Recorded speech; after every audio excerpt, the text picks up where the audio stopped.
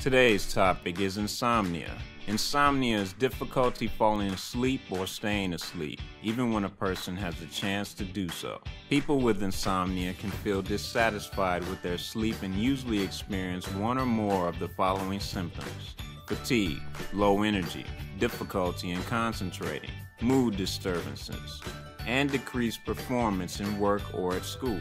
Causes Insomnia can be caused by physical and psychological factors. There is sometimes an underlying medical condition that causes chronic insomnia, while transient insomnia may be due to a recent event or occurrence. Disruptions in circadian rhythm, jet lag, job shift changes, high altitudes, environmental noise, extreme heat or cold psychological issues, bipolar disorder, depression, anxiety disorders, or psychotic disorders, medical conditions, chronic pain, chronic fatigue syndrome, congestive heart failure, angina, acid reflux disease, GERD, chronic obstruction pulmonary disease, asthma, sleep apnea, Parkinson's and Alzheimer's diseases, hyperthyroidism, arthritis, brain lesions,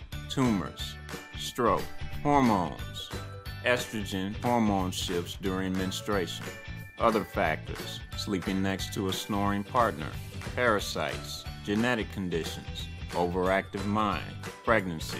Signs and symptoms. Insomnia itself may be a symptom of an underlying medical condition.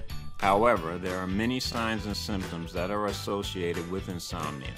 Difficulty falling asleep at night, waking during the night, waking earlier than desired, still feeling tired after a night's sleep, daytime fatigue or sleepiness, irritability, depression, or anxiety, poor concentration and focus, being uncoordinated, an increase in error or accidents, tension headaches, feels like a tight band around the head, difficulty socializing, gastrointestinal symptoms, worrying about sleeping. Diagnosis Your doctor will ask questions about your medical conditions, social environment, psychological or emotional conditions, sleep history. This will provide information that can help find underlying causes of sleep problems. You might be asked to keep a sleep log, recording when you fall asleep, Note whether you wake up repeatedly. Report what time you wake up each day. Treatment of insomnia. There are both pharmaceutical and non pharmaceutical treatments for insomnia.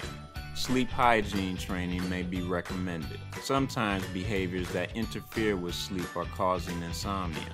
Sleep hygiene training can help you change some of these disruptive behaviors such as avoiding caffeinated beverages near bedtime, avoiding exercise near bedtime, minimizing time spent on your bed when you're not specifically intending to fall asleep, such as watching TV or surfing the web on your cell phone.